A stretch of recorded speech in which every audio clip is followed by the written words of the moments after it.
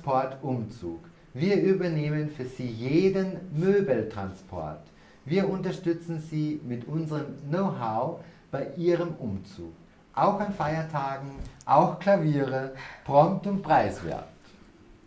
Das ist gemein mit dem Klavier. Wenn man das nicht genau versteht, glaubt man, dass man dann jetzt bei Klavier ein D machen muss. Die sagen nur, dass sie das auch transportieren. Sie bringen es von einem Ort zu einem anderen. Das ist ein Transport. Da muss man aufpassen. Aber was ist eine Spedition? Was macht eine Spedition? Eine Spedition bringt Dinge von einem Ort zu einem anderen. Das können wenige sein, wie zum Beispiel Möbel, die man von einer Wohnung zu einer anderen bringen möchte. Aber es können auch viele Waren und Produkte sein. Wenn ihr, ähm, habt, ihr habt das vielleicht schon gesehen, wenn ihr ein Geschäft äh, beobachtet, ganz, ganz in der Früh, dann kommen so große Transportwegen und die bringen die Produkte. Vielleicht habt ihr das schon mal mitbekommen. Und das macht eine Spedition. Eine Spedition ist ein Unternehmen, das Waren transportiert oder Produkte transportiert. Ja. Und D kann es nicht sein, weil die bringen das ja nur von dort nach da die, die machen ja keine neuen Möbel. Wer macht denn, ja, Amand? Wer C, macht oder? neue Möbel? Ich glaube C. Hm, wer macht neue Möbel? H. Du hast C gesagt. Mhm. Aber bei C sucht eine Frau erfahrene Krogstall. Verkäuferin mit guten Umgangsformen ja einen neuen Job. Ja, warum H? Warum? Wer mir das sagen kann, bekommt einen Stern. Äh, weil äh, ich kann zu, zum Tischler sagen, dass ich äh, ein äh, zum Beispiel Bett will und er kann das sofort machen. Ja, super, genau das ist die richtige Antwort. Ein Tischler macht neue Möbel und darum gibt es jetzt sofort einen Stern. Ähm, die anderen Sterne sind verschwunden, ich werde sie nochmal dazu tun, weil die hatten wir von vorher noch. So, und äh, jetzt gibt es äh, für dich natürlich sofort den zweiten Stern. Ja, warum ist das so? Ein Tischler macht Möbel. Ich kann zu einem Tischler sagen, äh, ich möchte gerne ein Bett haben, ich möchte gerne eine Kommode haben, ein Nachtkästchen, ich möchte gerne etwas für die Garderobe haben, wo ich meine Mäntel hinhängen kann. Und dann sagt der Tischler, ja, das kostet wahnsinnig viel Geld. Und dann kann ich sagen, ja, muss ich ja bezahlen. Ja, machen Sie das bitte. Bei einem Tischler ist das so. Wenn ich zu einem anderen Verkäufer gehe, der, der, der, der Produkte, ich darf ja keine Firmennamen sagen, aber er kennt bestimmt diese Firma mit dem großen gelben, blauen Logo. Da bei diesem komischen Park draußen, der mit E beginnt, den ich ja jetzt auch nicht sagen darf. Ja, die kaufen die Produkte sehr günstig und können sie auch sehr günstig weiterverkaufen. Aber da hat niemand das Produkt mit der Hand gemacht. Aber der Tischler macht alles mit der Hand, auch die Planung. Und jedes Stück ist ein Einzelstück. Und deshalb ist es auch teurer. Ja, okay. Ähm, das war jetzt äh, H. Und was haben wir noch? 30. Was haben wir noch? Sie möchten einen wertvollen alten Kasten verkaufen. Äh, Seid ihr euch einig mit E? Ja, ein Ja, ey. Antik. Weil es Ja. antik ist. Ja, weil es antik ist. Ja, super. Aber jetzt habt ihr gesehen, wie funktioniert dieser Test. Ah, da muss ich ausschließen, da muss ich einschließen, da muss ich mir gut überlegen und genau lesen. Nur weil Klavier dort steht, wir transportieren auch Klaviere, heißt das nicht, dass sie Klaviere verkaufen. Da muss man ganz genau lesen. Und ich weiß, manches Mal kann man sich damit selber sehr, sehr stark verwirren. Aber findet einen Weg, damit umzugehen. Ähm, bei all diesen Fragen ist es so, dass ihr eine bestimmte Prozentzahl korrekt haben müsst. Wenn eins falsch ist, ist das nicht so schlimm. Wenn zwei falsch sind, ist das auch nicht so schlimm. Okay? Das, habt das einfach im Kopf, wenn ihr diesen Test macht. Denn dann ist das für euch viel einfacher und auch lockerer, bei diesem Test mitzumachen. Ja?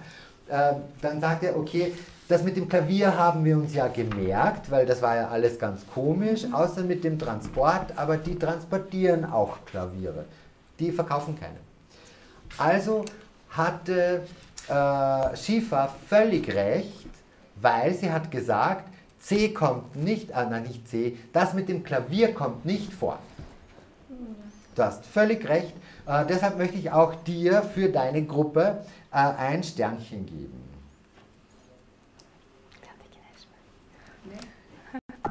So, genau. So, ja, Rana, du musst dich ranhalten. Du hast erst einen Stern. Aber das könnt, du hast jetzt dann gleich die Gelegenheit, etwas gut zu machen. Äh, findet ihr diese Aufgabe einfach oder schwierig? Einfach. Ja, liegt das daran, weil ihr jetzt wisst, wie das funktioniert oder war das immer schon einfach? Nein, etwas schwierig. Für dich war es schwierig? Mhm. Ein bisschen. Okay, was war für dich schwierig? Wenn ich X mache, ne? das ist Aha, also dieses, di- dieses Ich muss ein X machen, wo Mhm. nichts zutrifft. ja. Okay, aber du weißt jetzt, was gemeint ist damit. Mhm. Und äh, ist es für dich jetzt immer noch schwierig? Nein. Aha, ja, das, das wollte ich hören. Super. Also das heißt, ich weiß jetzt, ähm, es, du hast es vorher noch nicht verstanden, aber jetzt verstehst du es. Ja, super. Dann hat sich das ausgezahlt, dass du gekommen bist, weil jetzt hast du was dazu gelernt. Ja. Super, sehr, sehr, sehr, sehr gut. Mm, Wir machen noch das nächste Beispiel und äh, nein, wir haben gar keine Zeit mehr, sehe ich. Ähm, nehmt das bitte mit nach Hause. Ja. Ähm, und macht als Hausübung, das ist die zweite Hausübung, Ja. ja, macht bitte als Hausübung Lesen Teil 3 und wir werden beim nächsten Mal vergleichen.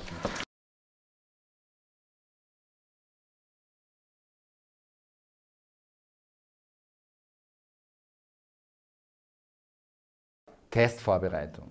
Ja, Testvorbereitung ist ein sehr wichtiges Thema, mit dem kann man nicht früh genug beginnen. Und wir haben beim letzten Mal schon Leseübung 1 und Leseübung 2 vom ÖSD gemacht. Wir werden da auch gleich fortsetzen, aber es gab auch eine Hausübung. Und deshalb möchte ich gerne, dass äh, wir äh, gleich mal mit Runa und Ranat beginnen, denn sie haben ja eine Hausübung gemacht und ich möchte gerne, dass wir das gleich als Leseübung betrachten. Korrektur gibt es keine, die gibt es dann in der Pause, also ich werde das dann korrigieren.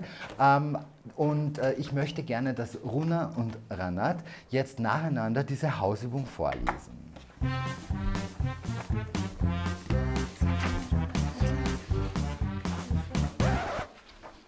Ja, also jetzt bin ich hier, aber Runat und Ranat nicht. Jetzt sind sie hier. genau. Genau. Äh, ich möchte gerne, dass ihr beiden sozusagen vorlest, also diese Aufgabe vorlest. Und äh, vielleicht machen wir das sogar so, dass dann Ahmad und Schiefer auch ins Bild kommen und beide dann gemeinsam, äh, also beide Gruppen gemeinsam dann die Lösung finden oder vortragen. Jetzt äh, schalte ich nur zurück. Genau. Äh, wer von euch beiden, äh, Runa und Ranat, möchte denn zu lesen beginnen? Wir haben auch einen Zufallsgenerator. Also wenn ihr euch nicht entscheiden könnt, können wir den Zufallsgenerator fragen. Soll ich die Aufgabe lesen? Genau, die ganze Aufgabe bitte von ganz vorne bis ganz zum Schluss. Äh, lesen 45 Minuten. Lesen Teil 3. Lesen Sie die drei Texte. Zu jedem Text gibt es zwei Aufgaben. Entscheiden Sie bei jedem Text, ob die Aussage richtig oder falsch ist Mhm. und welche Antwort A, B oder C am besten passt. Markieren Sie Ihre Lösung für die Aufgaben 31 bis 36 auf dem Antwortbogen. Auf dem Antwortbogen. Genau. Ähm, wie, wie ist, auf welche Antworten seid ihr gekommen? Äh, ich möchte aber zuerst, dass der Text gelesen wird ähm, und danach die jeweiligen Antworten dazu gleich als Lösung präsentiert werden.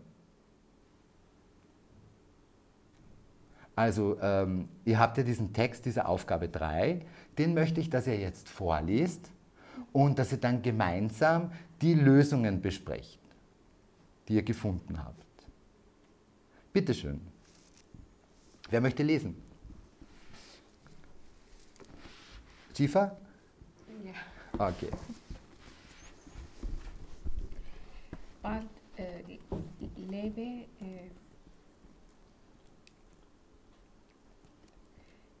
äh, lebe während ja, äh, was? Moment, bitte nochmal. Ich kann dich nicht verstehen. Bitte nochmal lesen. Liebe äh, Feren, Feren Smith. Was ist das? Ähm, ich habe dich nicht verstanden. Ich habe es nicht bei mir. Ich möchte ja hören, ob ich das verstehen kann, was ihr vorliest. Liebe Ver Vereinsmitglieder. Glieder, liebe Vereinsmitglieder. Jetzt habe ich verstanden. Weiter. Bald ist es äh, wieder äh, so, so weit, Soweit. so weit wie jedes Jahr findet auch heuer, Heuer. heuer weder unsere Jahr, Jahre Schau Ver, Versammlung. Moment. Wenn du ein Wort nicht genau lesen kannst, dann mach das so, wie wir das bei der Leseübung gemacht haben. Also, J, Ja, Ja, Jahr, Jahre, Jahres, Jahres, H, Jahres, H, Jahres, Hau, Jahres, Haupt. Verstehst du, wie ich meine? So kannst du lernen, dieses Wort besser zu lesen. Eine Jahreshauptversammlung findet einmal im Jahr statt und bei den Vereinen, das sind so Zusammenschlüsse von Menschen, der auch angemeldet ist, also dieser, der Verein ist auch angemeldet, ähm, die haben einmal im Jahr ein Treffen. Und das ist damit gemeint. Dieses einmal im Jahr treffen sich die, die, die Personen äh, zu dieser sogenannten Jahreshauptversammlung. Wie viele Worte kannst du denn in diesem Wort Jahreshauptversammlung sehen? Drei. Drei, genau. Das Jahr, Ja. dann äh, Hauptversammlung, aber Hauptversammlung ist auch wieder ein zusammengesetztes Wort aus Haupt und Versammlung. Haupt wäre eigentlich ähm, dieser, dieser obere Teil mit Kopf. Das wäre so, das, also die, nein, das, gerade so unter dem Kopf, das wäre das Haupt. Aber mit Haupt ist, äh, es, ist das gemeint, dass es sozusagen im Englischen würde man sagen Main. Main Meeting. Ja, das, das Haupttreffen oder die Hauptversammlung. Ähm, genau, du hast drei Worte gesehen. Möchtest du das Wort nochmal wiederholen? Ja. Gerne. Magst du das Mikrofon ein bisschen näher halten? Genau. Jahreshauptversammlung Schön, genau. Jahreshauptversammlung. Im Café Mhm. Liedenhof in der Seidlerstraße äh, 23 Stadt. Moment. Äh, Im Café Lindenhof. Lindenhof. Ja, der heißt so. Es gibt einen Baum, der heißt die Linde. Ich zeige ihn dir mal, wie das ausschaut. Ich schalte mal kurz auf den PC. Dann äh, kannst du das gleich sehen, wie das ausschaut. Ich werde hier jetzt einfach äh, Google öffnen, die Linde und öffne jetzt die Bilder. Und dann kann man sehen, das ist eine Linde. Oder das sind verschiedene Linden. Und der heißt einfach Lindenhof. Dieser Hof ist nach dieser Linde benannt. Du kannst gerne fortsetzen. Der Termin für unsere Jahr Jahreshaupt Hauptversammlung ist, Ja, ist heu, heuer, heuer der äh, 30, äh, 30. Ste- September. 30. 30. September. Mhm. Wir beginnen äh, wie immer pünktlich um 9 Uhr die Teilen, Teilnahme, Name, Teilnahme, Teilnahme. Teilnahme ist, äh, ist für alle Verein, Vereins, Vereinsmitglieder. Vereinsmitglieder Pflicht. Das bedeutet, die Menschen müssen dahin kommen. Es ist eine Pflicht. Wir beenden äh, die Versammlung wie immer um 20, äh, 12 Uhr Wir beenden, beenden, beenden. wir beenden die Versammlung wie immer um 12 Uhr. Um 12 Uhr um äh, 30 äh, dr- drei Uhr gibt es das äh, gemeinsam Mittagessen und äh, anschließend, schließend Moment, wenn wir IE haben, dann ist das immer ein langes I. Anschließend. schließen. Natürlich gibt es Worte, die aus Fremdsprachen kommen, da wo dieses IE extra sein kann. Aber in der Regel äh, ist das ein langes I, das ist für uns wie ein Buchstabe, nur wird er länger gesprochen. Möchtest du bitte den Satz nochmal beginnen? Anschließend. Um 13 Uhr, der Satz beginnt bei um 13 Uhr. Um 13 Uhr gibt es da, das äh, gemeinsam Mittagessen und Gemeinsame. Gemeinsame Mitta Mittagessen und äh, anschließend schließen. Schließen unser äh, Tradition Elas, traditionelles, Tra traditionelles. Ja, Her Her Herbst, Herbstfest, Herbstfest mit vielen äh, At- Attraktionen Attraktionen, genau, und äh, Feriam äh, Interrit. frei, M, freiem Freie Eintritt. Eintritt. Also wir haben EI, das wird als Ei gesprochen und IE, das wird als I gesprochen. Und freiem Eintritt. Ahmad, möchtest du weiterlesen? Ja. Nimm dein Mikrofon und sprich mit uns. Lies mit uns. Internationale Musikgruppen.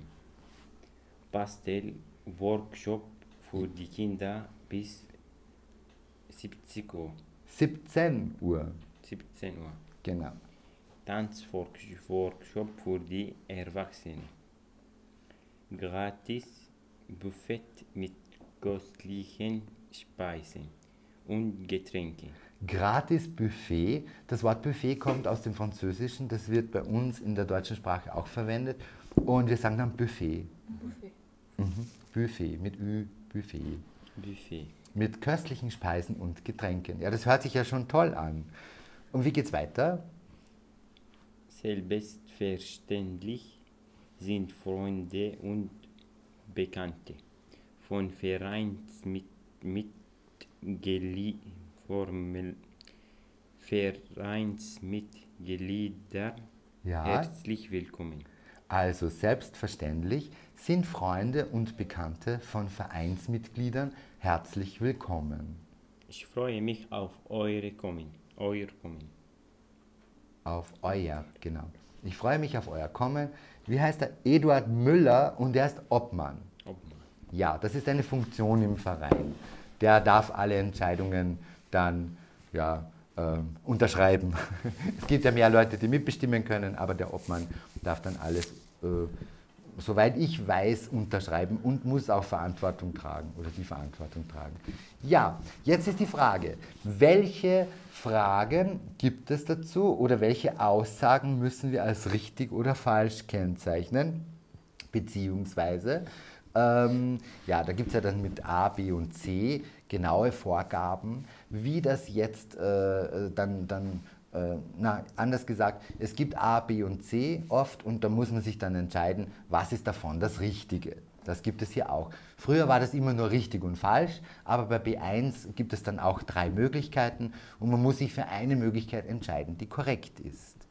Äh, Was immer ihr jetzt sagt, ob es jetzt A ist oder B ist oder C ist, wir werden dann gemeinsam nachschauen, ob es stimmt.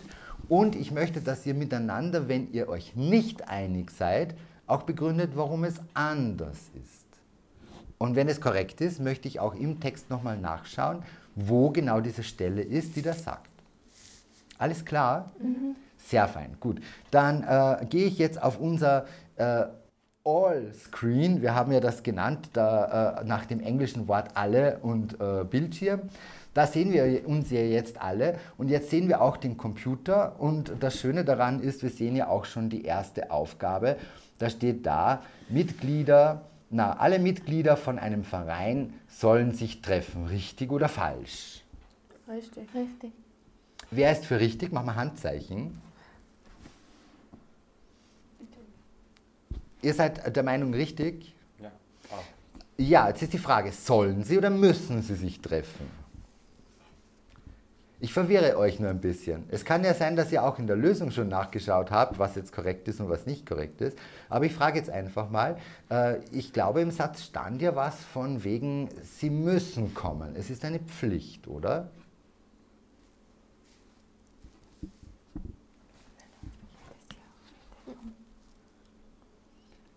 Ich mache parallel dazu jetzt einfach nochmal die Lösung dazu auf, denn manches Mal sind diese Fragen sehr verwirrend und manches Mal sind sie auch sehr gemein gestellt, diese Fragen. Und deshalb müssen wir nochmal schauen, damit wir uns beim Interpretieren leichter tun. So, wir haben hier unten den Lösungsteil. Welche Nummer war das? 31. 31. So, hier haben wir die Lösungen. Lesen Teil 3, 31. Richtig. Ja, es ist richtig, sie sollen sich treffen. Dennoch muss man trotzdem den Unterschied zwischen sollen und müssen kennen. Denn wenn es eine Pflicht ist, dann wäre das für mich auch nicht nur sie sollen sich treffen, sondern sie müssen sich treffen. Deshalb muss man da immer genau überlegen. So, die zweite. Am Herbstfest. Wer möchte lesen? Ja. Gerne? A. Gibt es Programmangebote? Programmangebote. Programmangebote Mhm. dürfen nur Vereinsmitglieder teilnehmen. Mu muss man Eintritt bezahlen? Ja, was trifft dir zu? Ich glaube B. Du glaubst B. Ähm, was glaubst du, ähm, Schiefer? Du glaubst A? Ja. Ja. Runa, was glaubst du? A Und Ranat? auch. A. Jetzt schauen wir nach, ob es stimmt. Wir können hier wechseln. A. Bei 32 sagt die Vorlage A. Ich bin auch dieser Meinung. Genau. So, dann schauen wir weiter. Wir haben jetzt Lesen Teil 3. Wer möchte lesen? Ranat. Lesen. 45 Minuten. Lesen Teil 3. Gesund durch mehr Bewegung. Eine akt aktuelle St- Stud Studie, Studie. Studie über das äh, Bewegungsverhalten der österreichischer, österreichischen Bevölkerung zeigt, dass sich, sich viele Menschen in Österreich zu wenig bewegen. Ich darf nochmal lesen. Gesund durch mehr Bewegung. Eine aktuelle Studie. Äh, Studie ist übrigens ein Wort, das aus einer Fremdsprache kommt. Deshalb ist es nicht Studie. Okay? Das ist Studie. Über das Bewegungsverhalten der österreichischen Bevölkerung zeigt, dass sich viele Menschen in Österreich zu wenig bewegen. Weiter. Nur etwas, äh, nur etwa 20 Prozent der äh, 11 bis 15-jährigen Schulkinder bewegen ihren Körper so, dass die körperliche Bewegung ihre Gesundheit fördert. Mhm. Ähm, dass die körperliche Bewegung ihre Gesundheit fördert. Bei den Erwa Ver- Erwachsenen ist es nicht viel besser. Hier bewe bewegt sich nur circa ein Viertel all- aller Erwachsenen, so dass es gesundheitsfördernd ist. Mhm.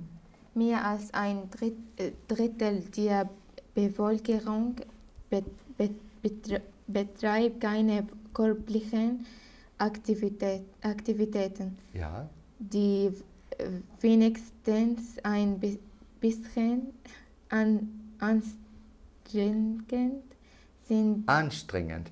Weiter. Ja, gerne. Je, je älter die Menschen sind, desto weniger bewegen, sind sich, Bewegen Sie sich. bewegen sie sich. Mhm. Bei äh, älteren Menschen nimmt der Ant Anteil an Personen, die min mindestens einmal pro Woche wegen ihrer körperlichen Aktivität ins Schwitzen kommen, deutlich ab. Deutlich. ab. Deutlich ab.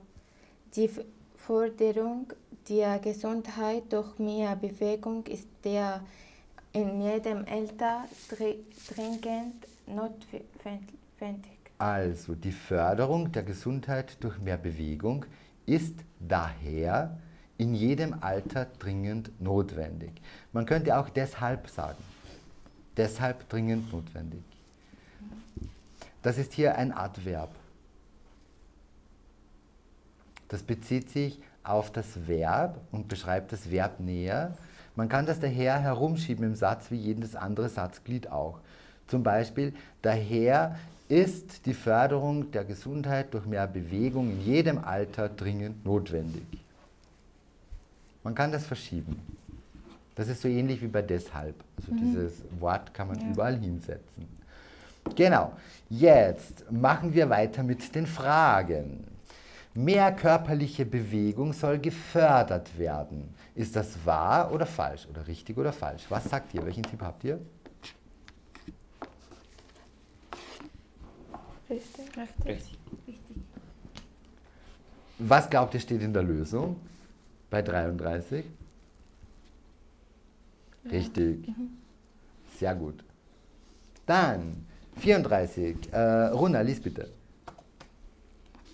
Eine aktuelle Studie in Österreich zeigt, Studie.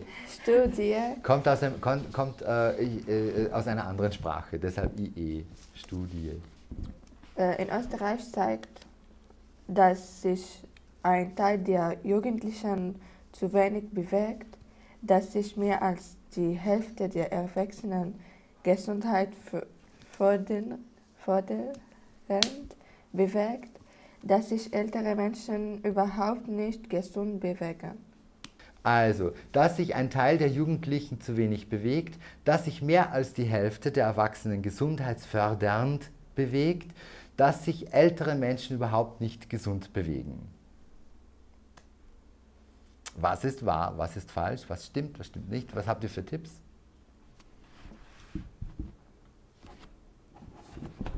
Ähm, dass sich ein Teil der Jugendlichen so wenig bewegt. Ja. Ja. Also, ihr, du sagst A, du sagst ja, auch A? Ja.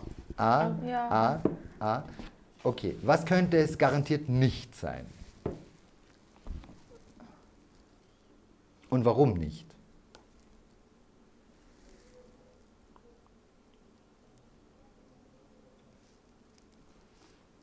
Bei uns sehr falsch. Ja, ich weiß schon, aber warum nicht? Ich möchte einen Textbeweis. Was steht im Text? Was steht im Text? Ich möchte, dass ihr mir die Stelle vorliest, wo, wo das herausgeht, dass äh, zum Schluss A korrekt ist. Äh, Ja. Nur etwa 20 Prozent der äh, 11- bis 15-jährigen Schulkinder bewegen ihren Körper so, dass die Körper, körperliche Bewegung ihre Gesundheit förde- fördert. Ja, 20% sind nicht alle und 20% sind auch nicht äh, die Hälfte und Ja. schon gar nicht mehr als die Hälfte, aber das sind ja die Jugendlichen, da wird von Jugendlichen gesprochen. aber es ist ein Teil der Jugendlichen, die sich zu wenig bewegt. Äh, also 20% bewegen sich genug oder stimmt das, was ich gesagt habe, stimmt das nicht? Noch einmal bitte. Ähm, ich habe gesagt, äh, nur etwa 20% bewegen sich ja genug. Und, oder so, dass das die Gesundheit fördert. Und das heißt, wie viele Prozent bewegen sich nicht genug oder gesundheitsfördernd? Gesundheitsworde. Ja, wie viele Prozent bewegen sich nicht gesundheits... 80 Prozent, genau. 80 Prozent der 11- bis 15-jährigen Schulkinder bewegen ihren Körper nicht so, dass die körperliche Bewegung ihre Gesundheit fördert. Also, das ist weniger als die Hälfte der Jugendlichen. Aber hier steht ja da, dass sich mehr als die Hälfte der Erwachsenen gesundheitsfördernd bewegt. Wo steht was von Erwachsenen?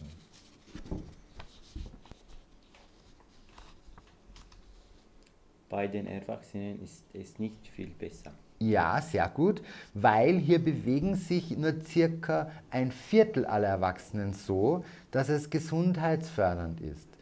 Das sind dann 25 Prozent, oder? Ungefähr ein Viertel. Ja. Ja, dann, das heißt, äh, dass sehr, sehr, sehr, sehr viele, auf jeden Fall weniger wie die Hälfte, nicht mehr als die Hälfte. Und äh, dann müssen wir noch das letzte anschauen.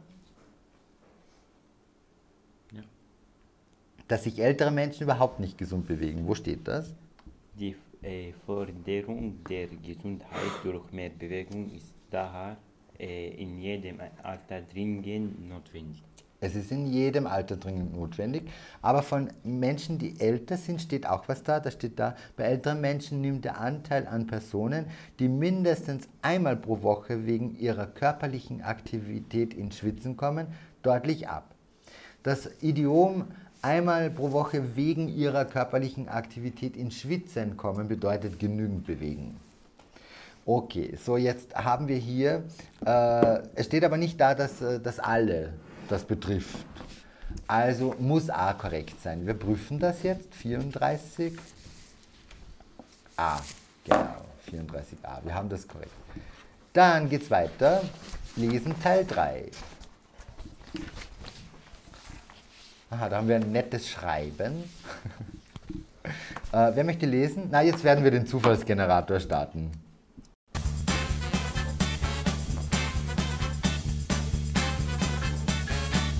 Ja, du bist dran. so geht das am besten, da muss man nicht lange überlegen.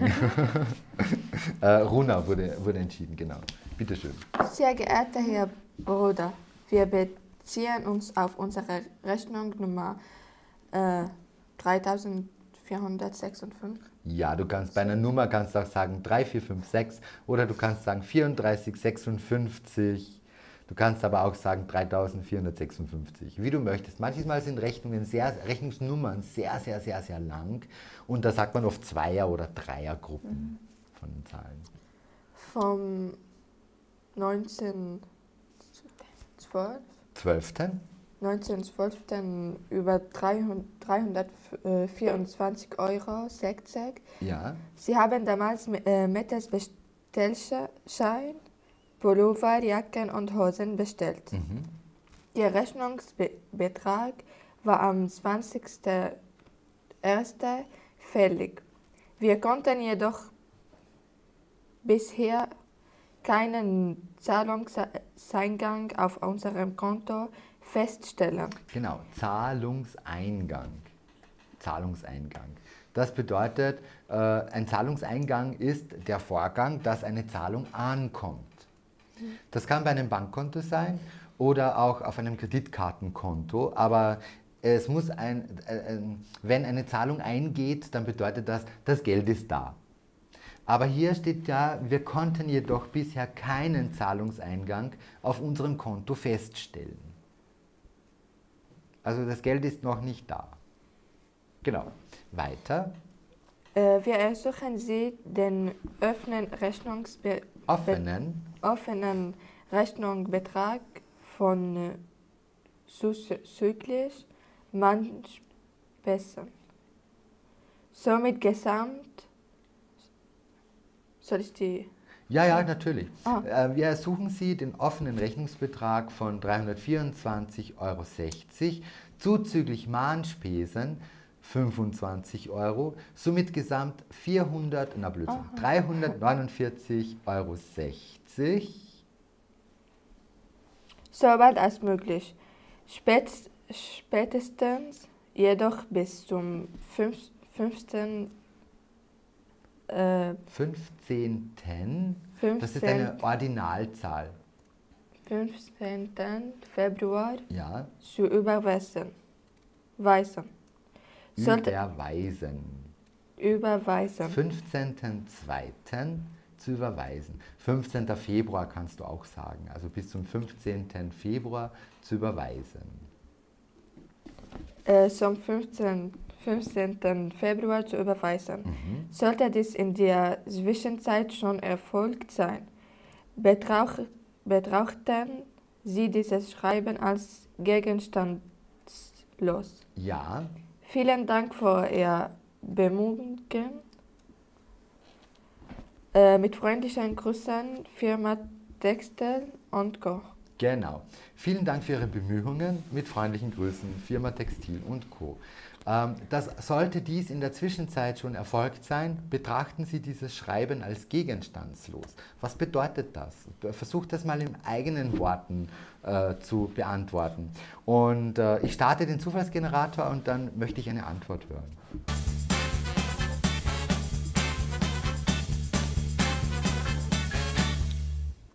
Ähm, aha, ja, welche, was, was, was ist das? Was bedeutet das? Welches Satz? Bist du dran gewesen jetzt? ich habe dich nicht verstanden. Du kannst gerne trotzdem Äh, antworten. welcher Satz? Äh, was bedeutet, ähm, sollte dies in der Zwischenzeit schon erfolgt sein, betrachten Sie dieses Schreiben als gegenstandslos. Was bedeutet das? Ihr könnt einen Satz machen, der mit wenn beginnt.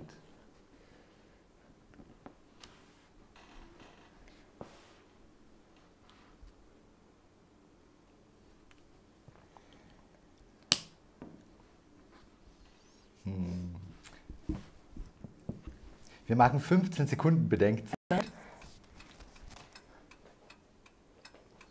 Wenn Sie dieses Schreiben als gegen Du hast Bedenkzeit. Denk mal nach. Du hast noch ein bisschen Zeit zum Denken. Genau. Ähm, wenn du jetzt bitte antwortest. Was bedeutet dieser Satz?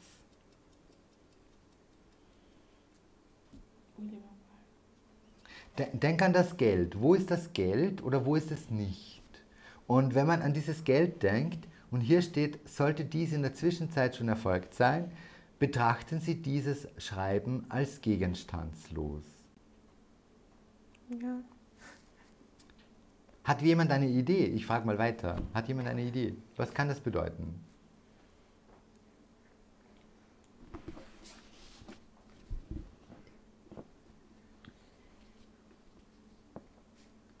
Also der Satzteil, sollte dies in der Zwischenzeit schon erfolgt sein, bedeutet, äh, wenn das Geld ja doch schon da ist oder Sie schon überwiesen haben, nur dass bei uns noch nicht angekommen ist, dann Dann, äh, ich glaube, die Satz sagt, äh, wir, bezahlen die Rechnung, nicht äh, äh, die Bruder alleine hat bezahlt.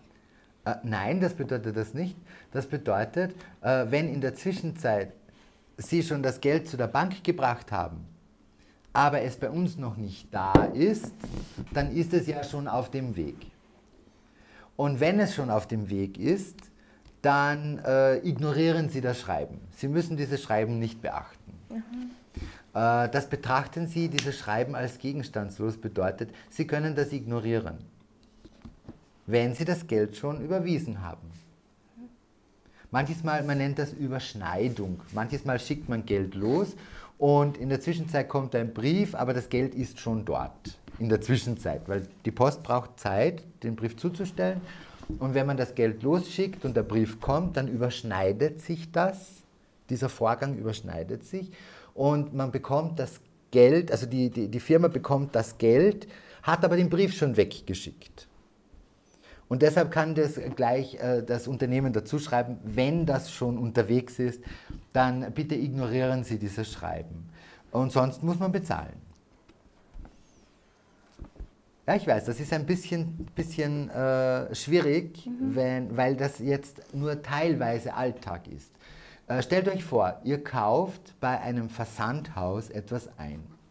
Ich kann jetzt keinen Namen sagen von einem Versandhaus, ja, aber ihr wisst ja, was Versandhäuser sind. Dort, wo man bestellen kann und dann kommen Waren. Die werden per Post zugeschickt. Und äh, ihr bekommt das auf Rechnung, also das heißt, ihr bekommt auch eine Rechnung dazu, müsst dann mit der Rechnung zu der Bank gehen oder mit einem Erlagschein zu der Bank gehen und müsst das ausfüllen, wo soll das Geld hin. Äh, jetzt seid ihr aber in, im Urlaub und kommt eine Woche erst später. Die Waren sind gekommen, ihr seid aus dem Urlaub zurückgekommen und auf der Rechnung wäre gestanden, äh, ihr müsst innerhalb von einer Woche bezahlen dann könnt ihr das Geld erst später schicken. In der Zwischenzeit kann so ein Brief kommen. So nach dem Motto, warum haben Sie noch nicht bezahlt? Aber wenn Sie schon bezahlt haben, bitte betrachten Sie dieses Schreiben als gegenstandslos. Okay. Ähm, ich werde für die, für die nächsten paar Einheiten ein paar Phrasen vorbereiten und äh, da müsst ihr bitte für euch selbst dann klären, was sie bedeuten. Aber ich werde euch so geschäftliche Phrasen vorbereiten, die man auch als Privatperson öfter lesen kann. Gerade wenn es mit Rechnungen zu tun hat, die man vielleicht erst später bezahlen kann.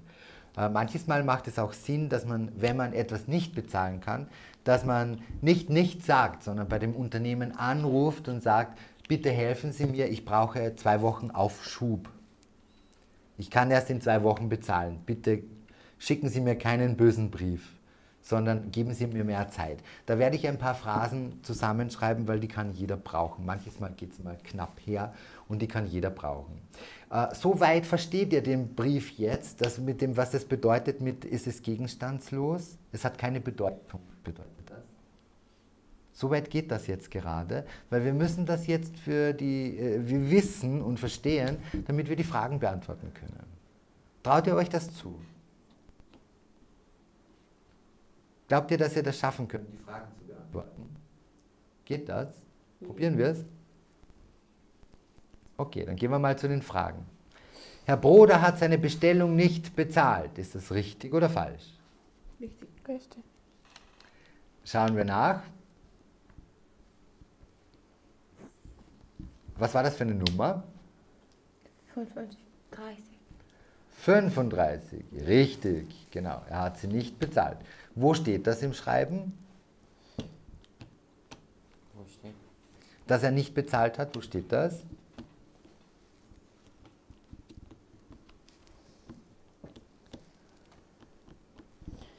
Wir konnten jedoch bisher keinen Zahl Zahlungseingang auf unserem Konto feste, äh, Feststellen. Sehr gut. Rana, du bekommst einen Stern dafür.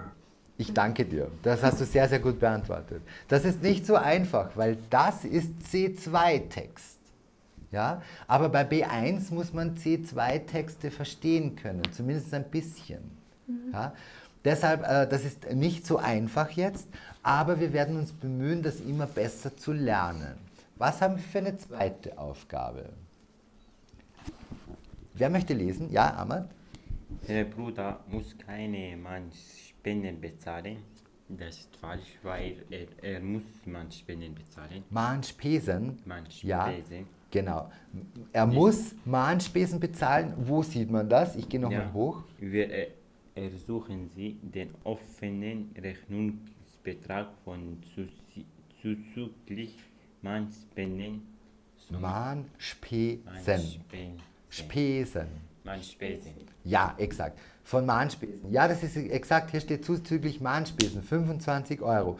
Äh, natürlich, wenn er schon bezahlt hat und das hat sich sogenannt überschnitten, ja, dann nicht.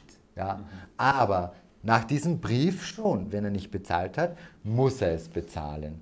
Da sieht man, da wird die Rechnung auch höher. Ja. Vorher hätte man bezahlen müssen 324,60, danach 349,60. Das sind um 25 Euro mehr.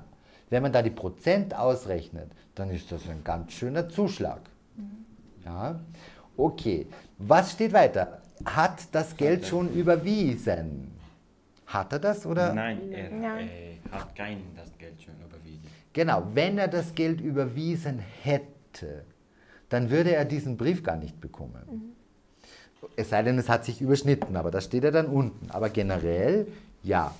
Und muss am 15.02. mehr bezahlen als vorher. Ja, das steht oben, sobald als möglich, spätest, spätestens jedoch bis zum 15. Februar zu überweisen. überwiesen. Ja, sobald als möglich, spätestens jedoch bis zum 15.02. zu überweisen. Also bis zu diesem Termin, das ist die letzte Frist, kann die Person bezahlen. Ja, Äh, natürlich kann es sein, dass es später mehr wird, weil dann kann sein, dass es ein Inkassobüro gibt, das beauftragt wird, oder sogar ein Rechtsanwalt eingeschaltet wird, der dann versucht, das Geld zu bekommen. Ja, es soll auch Länder geben, wo es so inoffizielle Inkassobüros gibt, ja, die dann, das gibt es bei uns nicht, ja. Aber, aber es gibt, äh, das, solche Länder gibt es auch. Bei uns ist das nicht, bei uns gibt es zuerst Briefe und es kann natürlich, wenn man gar nicht bezahlt, schon jemand kommen, der dann einen die Dinge wieder wegnimmt. Die Dinge, die man nicht bezahlt hat, aber auch noch, um alle Kosten zu bezahlen, noch mehr, ja, damit das alles bezahlt werden kann. Deshalb sollte man immer die Rechnungen pünktlich bezahlen. Deshalb schauen wir jetzt auch, und das ist ganz wichtig, ob das jetzt stimmt.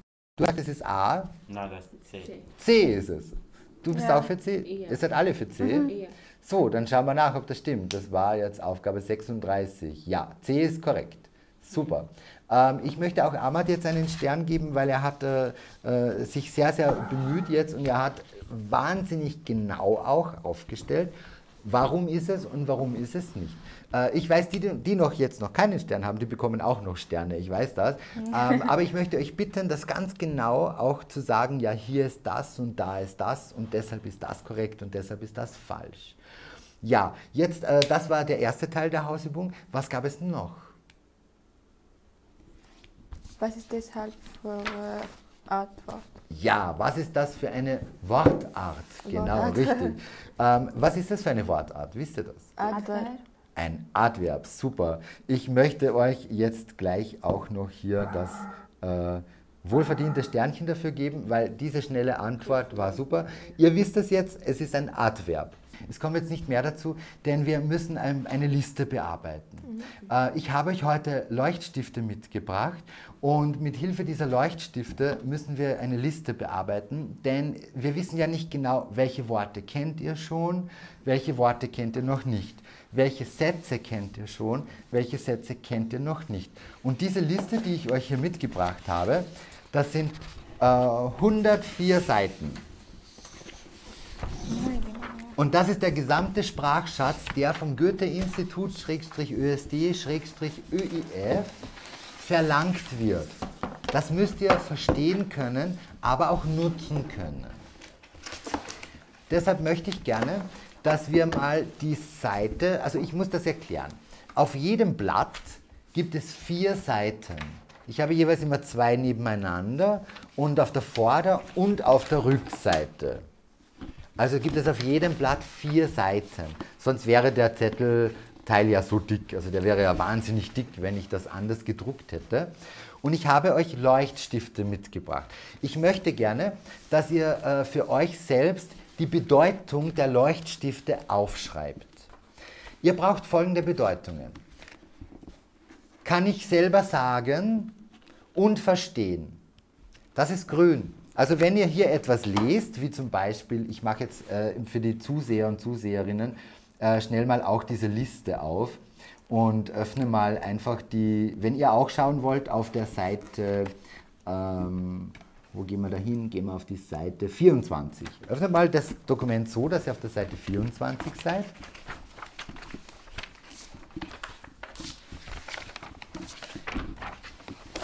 Und dann zeigen wir das auch den Zusehern und Zuseherinnen. Und da habt ihr ganz unten, da steht da, behandeln, behandelt, behandelte, hat behandelt. Auf der Seite 24, ganz unten. Ganz unten. Genau. Ja, jetzt mal ganz ehrlich antworten. Wer von euch versteht den Satz, welcher Arzt hat sie bis jetzt behandelt? Behandelt. Behandelt. Behandelt, ja. Wer versteht den Satz? Wie würdest du antworten? Wenn ich zu dir sage, welcher Arzt hat sie bis jetzt behandelt?